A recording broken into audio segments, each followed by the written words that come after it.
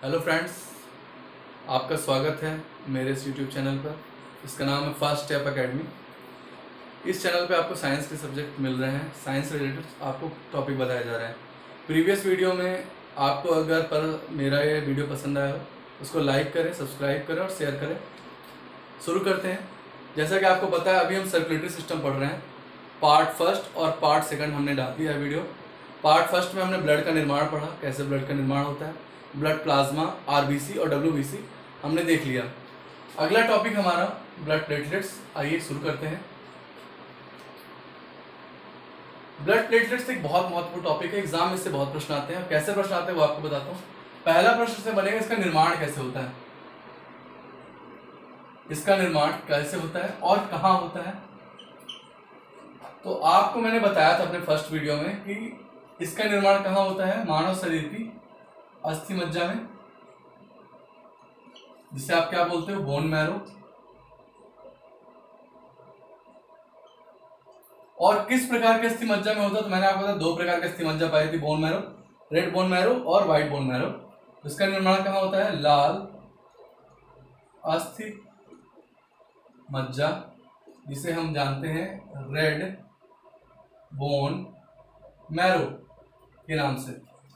तो आरबीसी का निर्माण भी कहाँ होता है? लाल अस्थि मज्जा में। और प्लेटलेट्स का भी निर्माण कहाँ होता है? लाल अस्थि मज्जा में। जबकि डब्ल्यूबीसी का निर्माण कहाँ होता था? श्वेत अस्थि मज्जा में। फिर इसका अगला प्रश्न बनता है, इसका आकार कैसा होता है? तो इसका जो आकार होता है, ये कैसा होता है? प्लेट की तरह होता है प्लेट। इसलिए से पटलिका कहा जाता है, ब्लड प्लेटलेट्स कहा जाता है। इसकी संरचना कैसी होती है? प्लेट की तरह होती है। फिर आपसे पूछा जाएगा, इसकी संख्या कितनी होती है ब्लड में? तो हम मान लेते हैं एक प्रति घन मिलीमीटर सॉरी प्रति घन घन ले रहे हैं अपन क्यूब मिलीमीटर में, लंबाई, चौड़ाई, ऊंचाई में, इसकी संख्या होनी चाहिए लगभग साढ़े चार लाख से साढ़े पाँच लाख। या आपको क्वेश्चन मिलेंगे साढ़े तीन लाख से साढ़े पाँच लाख तक। दोनों ऑप्शन मिल जाते हैं तो आपको दोनों चीज़ जाननी है। इसकी संख्या कितनी होती है? साढ़े चार लाख से साढ़े पाँच लाख और साढ़े तीन लाख साढ़े पाँच लाख, कुछ भी हो सकता है ऑप्शन मैंने आपको दोनों बता दिए। ये प्रश्न बना। फिर पूछा है इसका कार्य क्या होता है? तो ब्लड प्लेटलेट्स का प्रमुख कार्य होता है मानव शरीर में रक्त का थक्का बनाने में सहायता प्रदान करना। अर्थात ब्लड प्लेटलेट्स का कार्य क्या होता है? जो ब्लड क्लॉट बनता है आपके शरीर में, रक्त का थक्का बनता है, यह इसका प्रमुख इसमें सहयोग करता है। ठीक है? तो शुरू करते हैं, आपने बताया कि ब्लड प्लेटलेट्स का निर्माण कहा होता है तो आपने बताया अस्थि मज्जा में। फिर इसके बारे में चर्चा हमने पहले कर ली थी फ़र्स्ट वीडियो में। अब किस प्रकार के अस्थि मज्जा में होता है? लाल अस्थि मज्जा में रेड बोन मैरो में इसका निर्माण होता है। आकार कैसा होता है? आकार इसका प्लेट की तरह होता है। संख्या कैसी होती है? प्रति घन हमने लिया, घन क्यूब हमने लिया। प्रति घन मिलीमीटर में इसका जो संख्या है तो साढ़े तीन से साढ़े चार लाख या साढ़े चार लाख साढ़े पाँच लाख इसकी मिलती है। तो मैंने आपको दोनों ऑप्शन बता दिए। अब प्लेटलेट्स का कार्य क्या होता है? मेन एक इसका प्रमुख कार्य होता है रक्त का थक्का बनाने में सहायता करना। सहायता किसी करना? प्रोटीनों की चार प्रकार की प्रोटीन जो होती है प्रोथॉम्बिन थ्रोम्बिन, फाइब्रिन और फाइब्रोजन उसकी चर्चा अपन विस्तृत से आगे करेंगे। इसको इसका स्क्रीनशॉट ले लीजिए। आगे बढ़ते हैं अपन।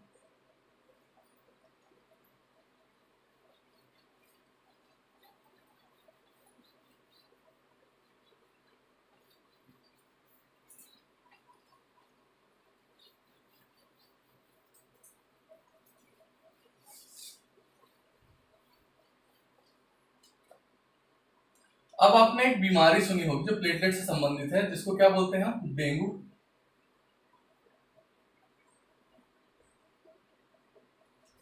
डेंगू बीमारी, पूछा जाता है आपसे, डेंगू बीमारी जनित है या किसके द्वारा आपके शरीर में आती है?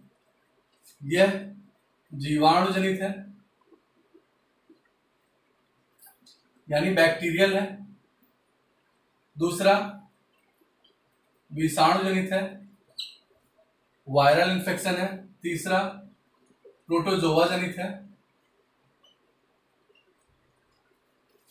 चौथा क्रमी या वर्म के रूप में आती है हमारे बॉडी में। तो डेंगू कैसी बीमारी है, ये आपसे एग्ज़ाम में कई बार पूछा जा चुका है। तो ये कैसी बीमारी है? ये एक वायरल डिज़ीज़ है विषाणु जनित बीमारी है। ठीक है? सॉरी वायरल इन्फेक्शन है ये विषाणु जनित डेंगू। अब क्या होता है इसमें? कि जब डेंगू आपको रोग होता है तो आपके शरीर में एक जो वाहक कार्य करता है कम्युनिकेशन कार्य करता है उसका नाम है मादा, एडीज, मच्छर। मादा, एडीज, मच्छर क्या करती है? ये आपके शरीर में इस वायरस के, डेंगू के वायरस को अंदर डालती है। यह जब आपको काटती है, काटने के बाद हमारे ब्लड में यह वायरस आ जाता है। कैसा? डेंगू का वायरस आया। और डेंगू का वायरस किसको प्रभावित करता है? हमारे ब्लड के प्लेटलेट्स को खाता है। अर्थात इनकी प्लेटलेट्स की संख्या क्या करता है? लगातार कम करता है संख्या। ये लगातार हमारे बॉडी के प्लेटलेट्स को चारों तरफ़ से घेर के खाता जाएगा प्लेटलेट्स की संख्या कंटिन्यू कम करता जाएगा और आपके शरीर में कैसा बुखार आएगा? तेज बुखार आएगा। ठीक है? अर्थात आपने बताया जो डेंगू बीमारी है, यह वायरल डिज़ीज़ है विषाणु जनित है। विषाणु का वाहक कौन है? कम्युनिकेशन कौन करता है आपके शरीर से मादा, एडीज, मच्छर करती है। और ब्लड में ये वायरस को छोड़ती है और ये वायरस क्या करते हैं? हमारे प्लेटलेट्स को खाते हैं और लगातार इसकी संख्या कम करते रहते हैं। ठीक है? इस कारण से हमें डेंगू नामक बीमारी होती है खतरनाक टाइप की बीमारी रहती है। ठीक? और कैसा होता है? आपकी अस्थियों में बहुत असहनीय दर्द होता है। बुखार आता है और जोड़ों में, अस्थियों में बहुत दर्द होता है, हड्डियों में। अस्थियों में दर्द क्यों होता है? क्योंकि आपने बताया इसका निर्माण कहाँ होता है? अस्थि मज्जा में होता है बोन मैरो में ही होता है। अब बोन मैरो के अंदर ही प्लेटलेट्स हैं तो उनको खाते हैं तो आपके बोन में बहुत पेन होता है। ठीक है?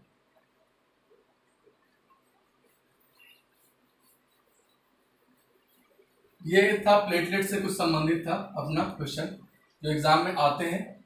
इससे ज़्यादा प्रश्न लगभग नहीं आते हैं, कुछ खास अगर पूछ लिए बहुत डिटेल में नहीं जाना है अपने को। एग्ज़ाम में ऐसे ही प्रश्न आते हैं, ठीक?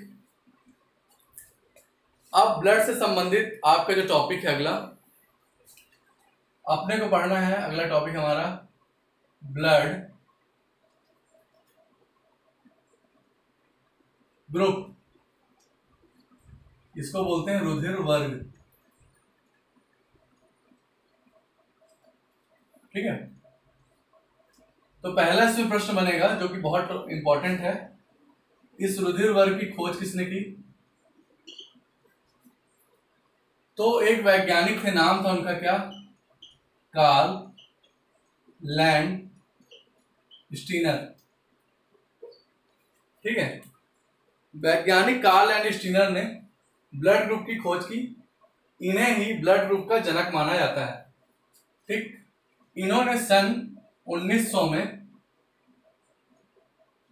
मानव शरीर में ब्लड ग्रुप की खोज की और 1900 की खोज के कारण ही इन्हें 1930 में नोबेल पुरस्कार चिकित्सा का क्षेत्र का दिया गया।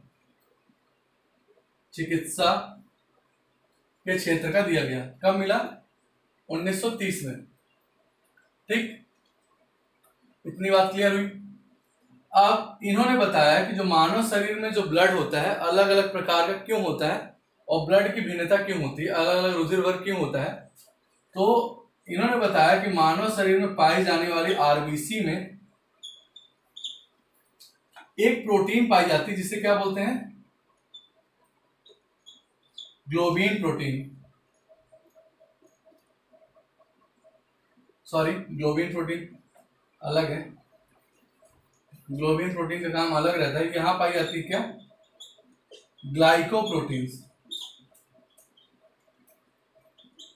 ग्लाइको प्रोटीन अर्थात आरबीसी में एक ग्लाइको नामक प्रोटीन पाई जाती है। ठीक है? इसी प्रोटीन का एक अन्य नाम है जिसे आप बोलते हो एंटीजन इसी ग्लाइकोप्रोटीन या एंटीजन की उपस्थिति के कारण मनुष्य का जो रुधिर वर्ग होता है, रुधिर वर्ग अलग अलग होता है। अलग अलग ब्लड ग्रुप मानव शरीर में पाए जाते हैं। किस प्रोटीन के उपस्थिति कारण? ग्लाइकोप्रोटीन के उपस्थिति कारण। ठीक? अब कार्ल एंड स्टीनर ने मानव शरीर में दो एंटीजन की खोज की, जिसका प्रमुख नाम क्रमशः है ए और बी इन्हीं दो एंटीजनों के द्वारा, इन्हीं दो एंटीजनों के द्वारा चार प्रकार के रुधिर वर्ग की खोज हुई। इन्हीं चार में दो रुधिर वर्ग में चार ब्लड ग्रुप खोज हुई, जिसे बोलते हैं ए बी ए बी और ओ अर्थात जिस मानव के शरीर में ए एंटीजन पाया गया तो ए ब्लड ग्रुप हो गया उसका बी एंटीजन पाया गया उसका बी ब्लड ग्रुप हो गया। जहाँ दोनों एंटीजन उपस्थित ए बी हो गया। अब जहाँ ये दोनों एंटीजन नहीं पाए थे, उनका ब्लड ग्रुप क्या हो गया? ओ रुधिर वर्ग हो गया। ठीक? तो आपने बताया रुधिर वर्ग ब्लड ग्रुप की खोज किसने की? तो वैज्ञानिक कार्ल एंड स्टीनर ने सन उन्नीस ईस्वी में इसकी खोज की। इसी खोज के लिए सन 1930 में इनको नोबेल का पुरस्कार दिया गया। और ये चिकित्सा के क्षेत्र में दिया जाने वाला पुरस्कार है। ठीक? अब आरबीसी के अंदर जो ग्लाइकोप्रोटीन पाई जाती है तो ब्लड ग्रुप आरबीसी के अंदर जो ब्लड ग्रुप होता है अलग अलग प्रकार क्यों होता है तो उसमें ग्लाइकोप्रोटीन पाई जाती है। इसी कारण हर मानव के शरीर का अलग अलग ब्लड ग्रुप होता है। इसी ग्लाइकोप्रोटीन को एंटीजन कहा जाता है। ठीक? अब दो एंटीजनों की खोज मुख्यतः हुई, जिनके द्वारा, इन दोनों एंटीजनों के द्वारा चार प्रकार के ब्लड ग्रुप बने। जिस मानव के शरीर में ए एंटीजन होगा, उसका ब्लड ग्रुप ए कहलाएगा। जिसके बी होगा बी कहलाएगा। और जिसमें दोनों एंटीजन पाया गया ए भी होगा, और जिसमें दोनों एंटीजन नहीं पाया जाएगा, उनका ब्लड ग्रुप क्या रहता है? ओ रहता है। चलिए, इसका स्क्रीनशॉट ले लीजिए, आगे बढ़ते हैं।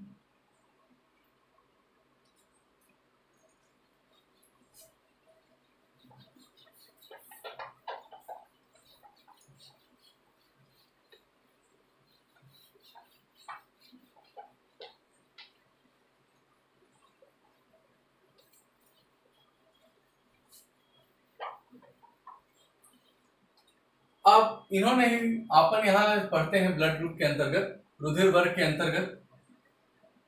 आपने बताया जो ब्लड ग्रुप का निर्धारण होता है, वह कौन करता है? ग्लाइकोप्रोटीन जो कहाँ पाई जाती है? आरबीसी में।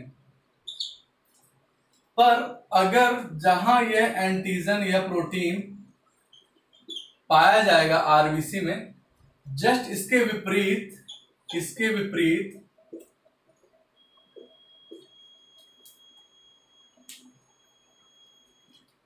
इसके विपरीत एक अन्य प्रोटीन का निर्माण होता है, जैसे आपके शरीर में ए एंटीजन है तो इसका भी अपोजिट क्या होगा? बी होगा। इसके विपरीत शरीर में पाया जाने ब्लड प्लाज्मा में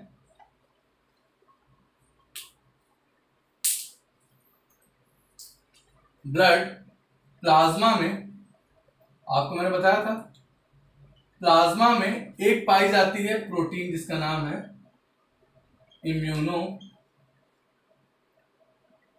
ग्लोबिन प्रोटीन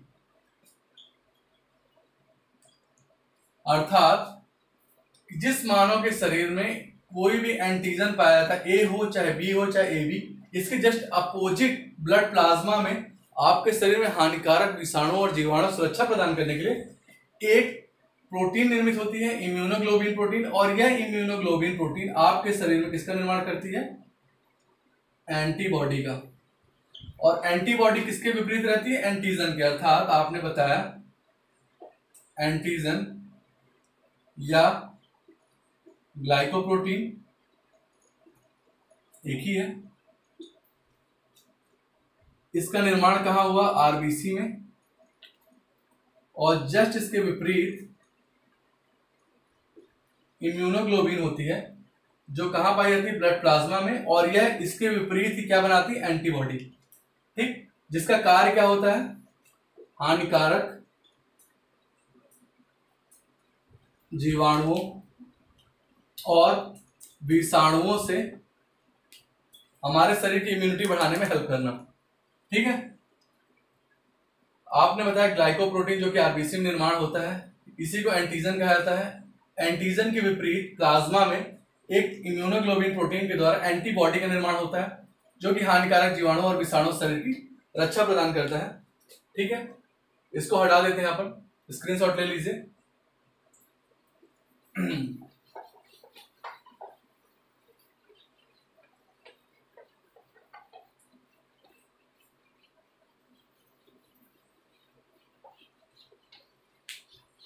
अब एक चार्ट बना लेते हैं। तो आपने बताया कि ये हो गया आपका ब्लड ग्रुप रुधिर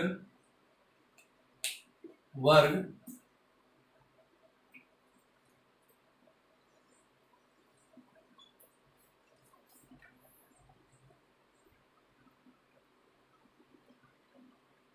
एंटीजन हो गया आपका। एंटीजन या इसे क्या बोल दिया आपने? ग्लाइकोप्रोटीन।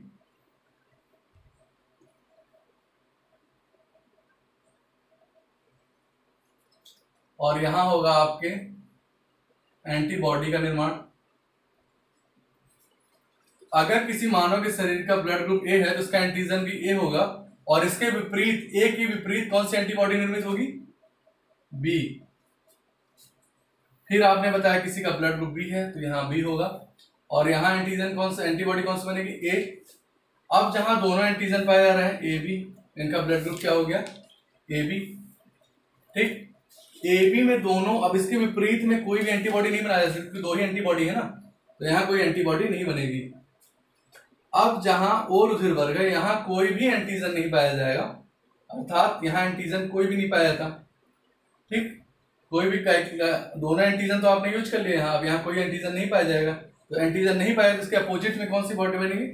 एंटीबॉडी बनेगी ए बी आपसे प्रश्न यही बनेगा मानव शरीर का कौन सा रुधिर वर्ग एंटीबॉडी का निर्माण नहीं करता है तो यह निर्माण नहीं करता। और कौन सा रुधिर वर्ग दोनों एंटीबॉडी का निर्माण करता है, यह निर्माण करता है। ठीक?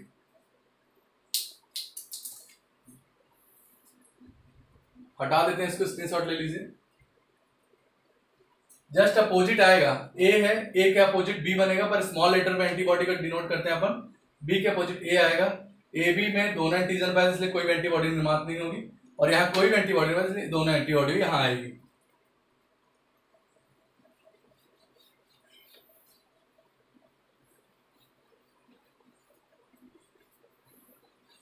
अब इसी में एक प्रश्न बनता है डिफ्यूजन का। रुधिर आधान आपने सुना होगा। रुधिर।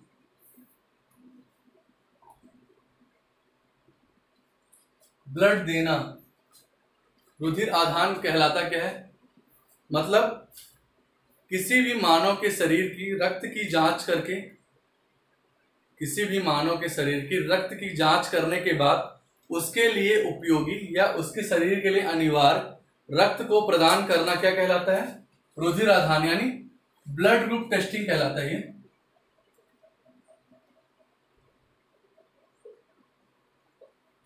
ब्लड ग्रुप टेस्ट करके उस संबंधित व्यक्ति को संबंधित ब्लड प्रदान करना कहलाता है। तो आपको पता होगा, मानव शरीर में चार प्रकार के ब्लड ग्रुप आपने बताया एंटीजन के द्वारा चार प्रकार का ब्लड ग्रुप है। अपन ने भी बताया कौन कौन से? एक चार्ट बनाते हैं ब्लड ग्रुप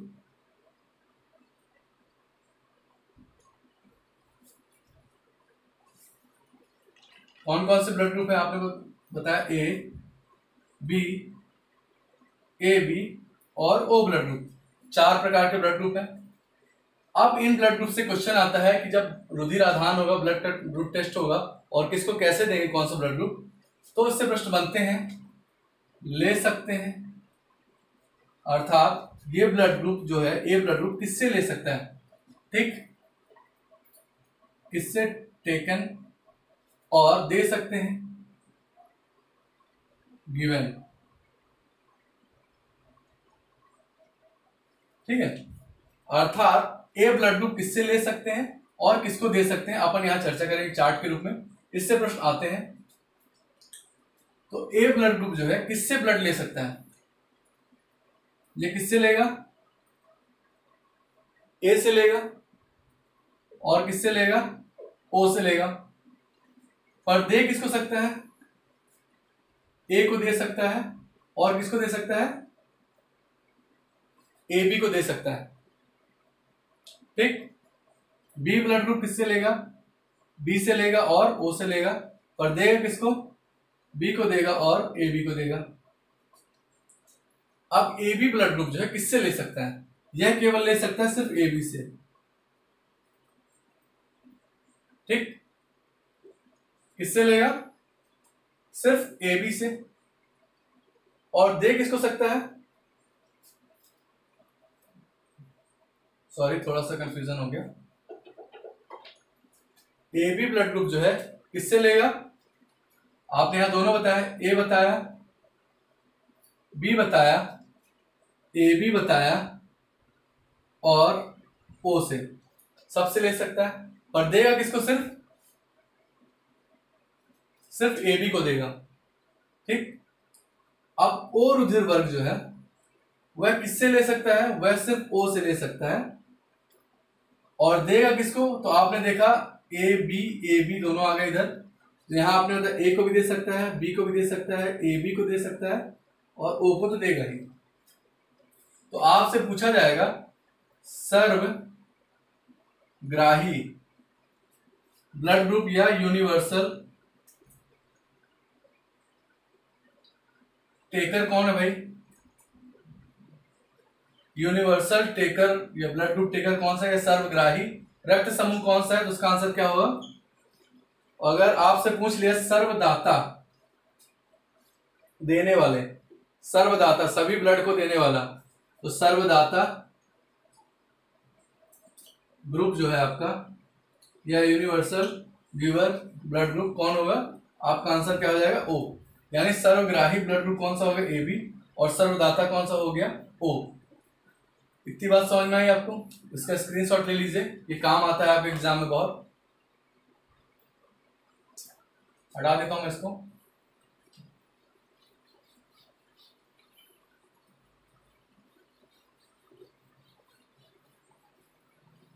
अब आपसे अगला प्रश्न पूछता है अगर कि क्या कारण है अगर किसी भी व्यक्ति या एक्सीडेंट हुए आकस्मिक घटना वाले व्यक्ति का अचानक रक्त का टेस्ट नहीं किया जा सकता, ब्लड ग्रुप का टेस्ट नहीं किया जा सकता, उसको कौन सा रक्त रुधिर वर्ग दिया जा सकता है?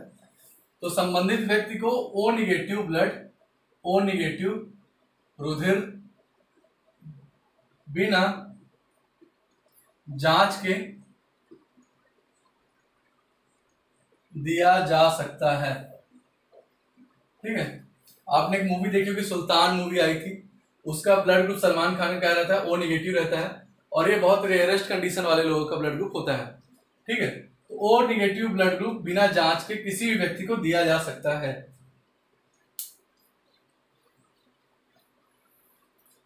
ठीक है? अब हमने पढ़े दो एंटीजन ए और बी अब हमको पढ़ना है तीसरे एंटीजन के बारे में, ठीक? जो कि बहुत इंपॉर्टेंट है और एग्ज़ाम में बहुत बार उससे प्रश्न आए हैं। जिसका नाम है आर एच फैक्टर या रेसिस फैक्टर इसको बोलते हैं, ठीक? इसका पहला प्रश्न बनेगा आपसे, इसकी खोज किसने की? तो आपने बताया जो ब्लड ग्रुप की खोज थी खोज किसने की थी? कार्ल लैंड स्टीनर ने। तो आर एच फैक्टर अर्थात तीसरा जो एंटीजन है, इसकी भी खोज किसने की थी? कार्ल लैंड स्टीनर ने। और इनके साथ कौन थे? वीनर इन्होंने सन 1940 में 1940 में एक नए फैक्टर की खोज की। जिसको क्या कहा गया? इसको कहा गया तीसरा एंटीजन ठीक है? अब इसकी खोज किसने की? किसमें हुई भाई खोज? तो इन्होंने एक रेसिस प्रजाति का बंदर है रेसिस प्रजाति का बंदर में इस आर एच फैक्टर की खोज की, क्योंकि बंदर को ही मानव का विकसित रूप माना जाता है। हमारे पूर्वज बंदर ही होते हैं तो उन्होंने रेसिस प्रजाति में एक नया एंटीजन पाया और उसका रेसिस आर एच रेसिस नाम से ही लिया गया। इसलिए इसको क्या बोल दिया गया? Rhesus factor. या आर एच फैक्टर इसको नाम दिया गया। अब इस रेसिस प्रजाति के बंदर में एक प्रश्न और बनता है। आपने एक वायरस का नाम सुना होगा, जीका वायरस बहुत चला था आपके दो तीन साल पहले। जीका वायरस इस जीका वायरस की खोज इसी रेसिस प्रजाति के बंदर में हुई थी। यह अफ्रीका के जंगल का नाम है जीका। अफ्रीका के जंगल की रेसिस प्रजाति के बंदर में जीका वायरस की खोज की गई। इस वायरस के द्वारा क्या होता है? माता के गर्भाशय में जो संतान होती है, गर्भावस्था में संतान, उनके जो मस्तिष्क होता है, वह अनियंत्रित अवस्था विकसित होता है। और संबंधित व्यक्ति क्या होता है? बच्चा उत्पन्न होने के बाद वह मानसिक विकलांग होता है, मानसिक कमज़ोर होता है।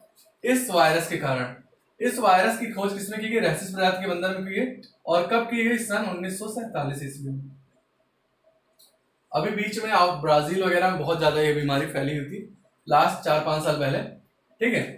तो आपने बताया इस रेसिस प्रजाति के बंदर में आर एच फैक्टर की भी खोज हुई। खोज किसने की? कार्ल एनिस्टीनर और वीना ने। कब की? सन 1940 में। इसी आर एच फैक्टर क्या बोला था? तीसरा एंटीजन रेसिस प्रजाति के बंदर में एक वायरस की खोज हुई, जिसको जीका वायरस कहते हैं। और यह जीका नाम कैसे पड़ा? अफ्रीका के जंगलों का नाम जीका है, जहाँ इसकी खोज हुई। इसलिए इसको जीका वायरस कहा गया और इसकी खोज कब की उन्नीस में। इतनी बात समझ में अब ये आर एच फैक्टर का कार्य क्या है? जिस व्यक्ति के शरीर में ये आर एच फैक्टर उपस्थित होगा उपस्थित होगा ब्लड ग्रुप में, उसका जो ब्लड ग्रुप हो जाएगा वो कैसा हो जाएगा? पॉजिटिव। और जहाँ ये आर एच फैक्टर अनुपस्थित होगा उसका ब्लड ग्रुप क्या हो जाएगा? निगेटिव अर्थात यह आर एच फैक्टर मानव शरीर के ब्लड में पॉजिटिव और निगेटिव का निर्धारण करने का कार्य करता है। ठीक? इतनी बात समझ में आई? इसको मैं हटाता हूँ स्क्रीनशॉट ले लीजिए। अगला प्रश्न कैसे बनता है वो बताता हूँ आपको।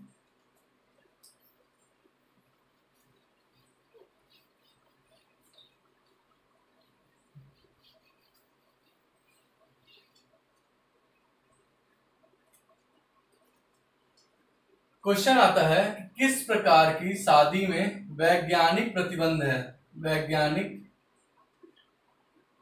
प्रतिबंध है शादी में।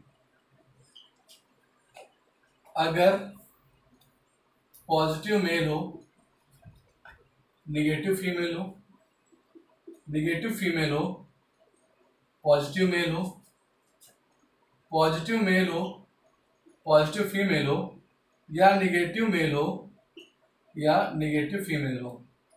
आपसे क्वेश्चन आता है, किस प्रकार की शादी में वैज्ञानिक प्रतिबंध लगाया गया है? तो आपका आंसर हमेशा लगाना है ये। अगर पॉजिटिव मेल है और निगेटिव फीमेल है तो इस शादी पे वैज्ञानिक प्रतिबंध लगाया गया है, क्योंकि जिसका आर एच फैक्टर पॉजिटिव पुरुष का और महिला का निगेटिव है तो उनसे उत्पन्न होने वाली संतान में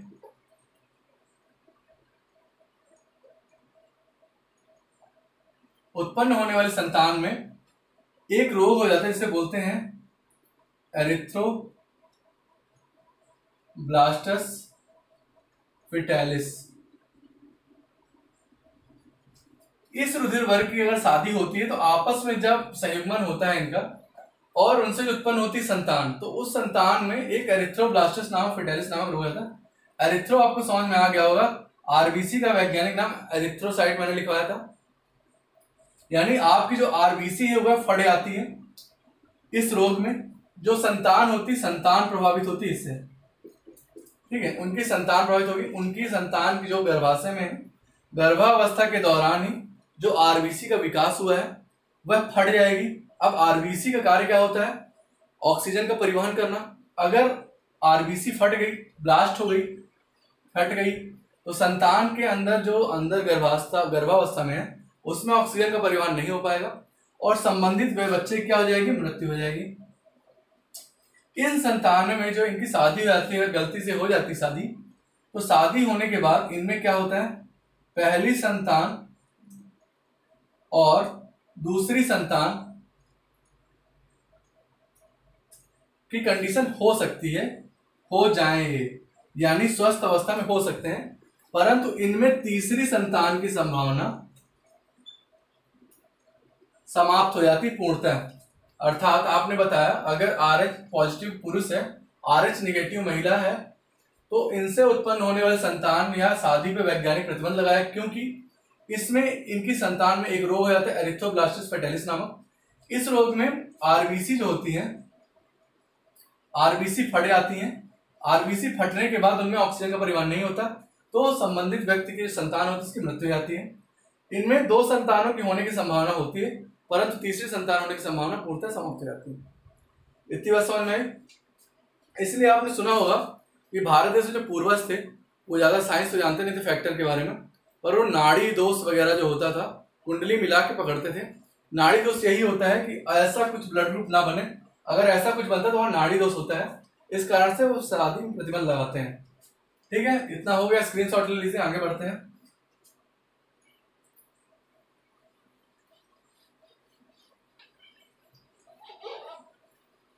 तो अपन ने पढ़ा आर एच फैक्टर के बारे में। अब थोड़ा सा क्वेश्चन आते हैं कभी कभी बड़े एग्ज़ाम में आप जाओगे यूपीएससी वगैरह लेवल में। प्रश्न आते हैं रुधिर वंशा गति से।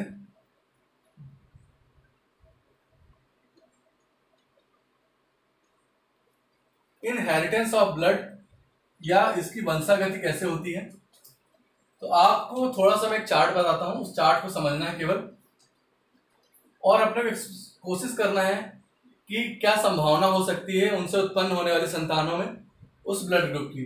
तो चार्ट बनाना है आपको।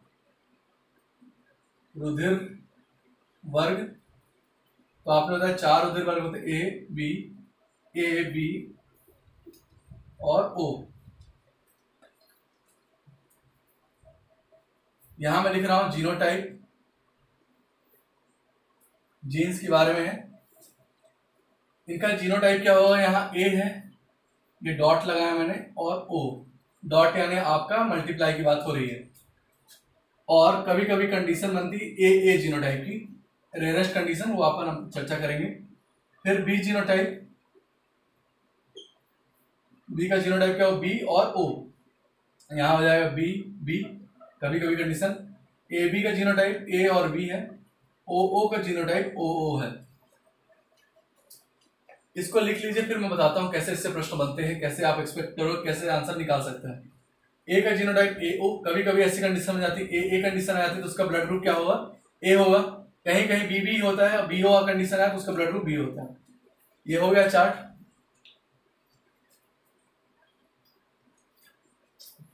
इसको मैं हटा रहा हूँ स्क्रीनशॉट ले लीजिए। अब इससे प्रश्न कैसे बनेंगे, आपको मैं बताता हूँ, बिना हटाए। प्रश्न लिखिए। अगर माता का रुधिर वर्ग रुधिर वर्ग ए हो और पिता का रुधिर वर्ग बी हो तो उनसे उत्पन्न संतान में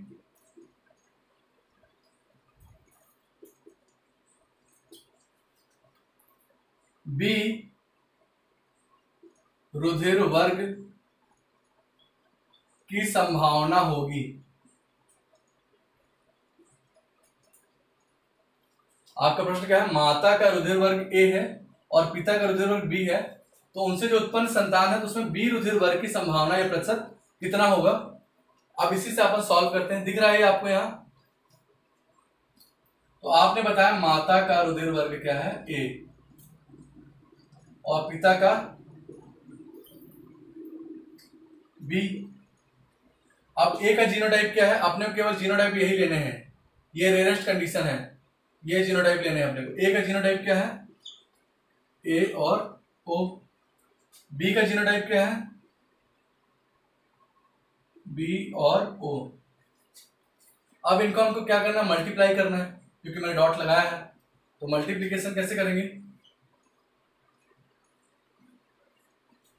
आप चाहो तो आप माता का जीनोटाइप यहाँ रख लो, चाहे तो पिता का रख लो, माता पिता कोई भी रख सकते यहाँ रखो, माता का या पिता का, चाहे यहाँ रखो। तो हम यहाँ रख लेते हैं माता का रुधिर वर्ग ए ओ और पिता का रुधिर वर्ग हम कहा रख लेते हैं बी ओ ऊपर। आप इंटरचेंज कर सकते हो, कोई समस्या नहीं। अब पहले इसका गुणा होगा, फिर इसका इससे गुणा होगा। तो ए का गुणा हमने बी से किया तो यहाँ क्या आया ए बी ए का गुणा फिर ओ से हुआ तो यहाँ क्या आया ए ओ फिर ओ का गुणा हमने बी से किया तो ओ बी कंडीशन नहीं बनेगी, क्योंकि मैंने आपको ओ बी नहीं बताया बी ओ ही जीनोटाइप बताया। तो ओ का गुणा बी से होगा तो यहाँ क्या आएगा? बी ओ और ओ का गुणा ओ से होगा तो क्या आएगा यहाँ? ओ ओ अब ये बॉक्स आपको हटा देने चारों को बाहर निकाल लेना है। ए बी को आपने बाहर निकाल लिया ए ओ को आपने बाहर निकाल लिया। फिर यहाँ आपने निकाल लिया बी ओ को बाहर निकाल लिया, और ओ ओ को बाहर निकाल लिया।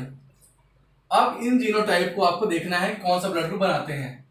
ए, बी के सामने कौन सा जीनोटाइप है? ए, बी जीनोटाइप के सामने कौन सा ब्लड ग्रुप है? ए, बी तो अर्थात यहाँ ए, बी ब्लड ग्रुप हो गया। फिर आपने बताया, ए, ओ के सामने कौन सा ब्लड ग्रुप है? ए, ओ के सामने। तो यहाँ कौन सा ब्लड ग्रुप आ गया? ए आ गया। फिर आपने बताया बीओ के सामने कौन सा ब्लड ग्रुप आ गया? बीओ के सामने कौन सा है? बी। और ओ के सामने कौन सा ब्लड ग्रुप है? ओ।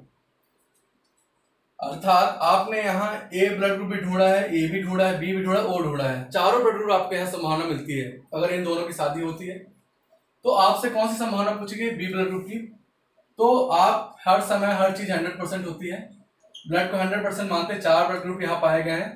तो ए ब्लड ग्रुप की संभावना कितनी हुई? पच्चीस परसेंट अर्थात बी ब्लड ग्रुप की संभावना कितनी रहेगी? पच्चीस परसेंट अगर आपसे पूछ लिया ए ब्लड ग्रुप की संभावना कितनी है, इसका भी आंसर क्या रहेगा? पच्चीस परसेंट इतना आपको समझ में आया?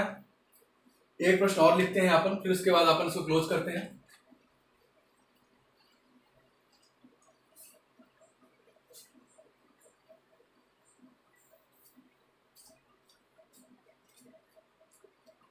अगर माता का रुधिर वर्ग प्रश्न ये, माता का रुधिर वर्ग ए बी हो और पिता का रुधिर वर्ग बी हो तो उनसे उत्पन्न संतान में ए रुधिर वर्ग रुधिर वर्ग की संभावना होगी। तो हम यहाँ लेते हैं पहले, माता का रुधिर वर्ग क्या है आपका? माता का तो माता का रुधिर वर्ग आपने बताया, ए बी है, और पिता का बी है। अब ए बी का जीनोटाइप क्या है? ए बी का ए और डॉट बी है। तो आपने ए और बी अलग कर लिया। बी का जीनोटाइप क्या है? बी और ओ है। ठीक, अब अपन मल्टीप्लाई करेंगे इसमें। आप चाहे माता का रखो इधर, चाहे पिता का रखो, चाहे माता का रखो, चाहे पिता का रखो। तो हमने यहाँ फिर से माता का रख लिया, ए, बी, और इधर पिता का रख लिया, बी और ओ। अब पहले इनका गुणा होगा ऊपरी वाले भाग में। ए का गुणा बी से किया हमने तो क्या आएगा यहाँ? ए, बी। ए का गुणा ओ से किया तो यहाँ क्या आया? ए, ओ। अब बी का गुणा हमने बी से किया तो यहाँ कंडीशन कैसी आ गई? बी बी, जो कि मैंने आपको बताया था रेयरेस्ट कंडीशन है। ये अगर ज़ीरो टाइप ऐसा मिल जाए तो उसका ब्लड ग्रुप क्या होगा? बी ही होगा। ठीक है यहाँ बी बी होगा बी गुणा ओ से यहाँ क्या हो गया? बी ओ ठीक है? अब इनको हम बाहर निकाल लेते हैं। ए बी आया आपका ए ओ आया आपका, और बी बी आया आपका, और बी ओ आया आपका। अब ए बी जीनोटाइप के सामने कौन सा ब्लड ग्रुप है? ए बी यहाँ आपने ए बी लिख दिया। ए ओ के सामने कौन सा ब्लड ग्रुप है? ए तो आपने ए लिख दिया। अब बी बी मैंने बीओ ऐसे कंडीशन बताया अगर बी बी आ जाए ए आ जाए तो यहाँ बीबी आ गए बी बी के सामने ब्लड ग्रुप क्या होगा आपका? बी हो जाएगा, और बीओ के सामने कौन सा ब्लड ग्रुप हो जाएगा आपका? बी हो जाएगा। तो मैंने आपसे पूछा है ए रुधिर वर्ग की संभावना क्या है? ठीक है? तो यहाँ आपके कितने ब्लड ग्रुप है? तीन ब्लड ग्रुप है।